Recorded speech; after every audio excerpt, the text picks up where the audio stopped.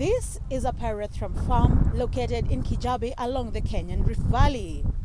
The Chinese have revived pyrethrum farming in this area, which has not only excited the local residents, but provided employment opportunities for them, as you can see behind me. Over 100 farmers in Kijabe can now make an income through pyrethrum farming that has been revived in the area. Pyrethrum is used to make pesticides and insecticides used in homes and for farming. According to the farmers, the Chinese way of farming is very productive. Every two weeks, when the weather is good, they can harvest 600 kilos of pyrethrum from one acre. Since the Chinese came to this place, they have taught us more, more skills than what we are doing before. They told us to use that by 30, which, have, which has yielding more than what we are getting before.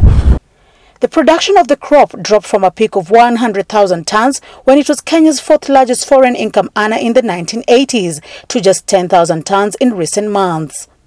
This led to closure of the Kenya Pyrethrum Board, leaving the farmers stranded and in abject poverty. Tulikuwa na umaskini sana.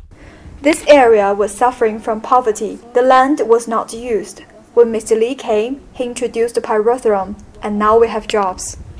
Chinese investor Li Changhong, the director of DLI International Trade Limited, says he came to Kenya in 2008 to seek a business opportunity. The Chinese agro-entrepreneur plans to hold talks with suppliers in China next month for the construction of the 40 million yuan or 7 million US dollars pyrethrum plant in Nairobi.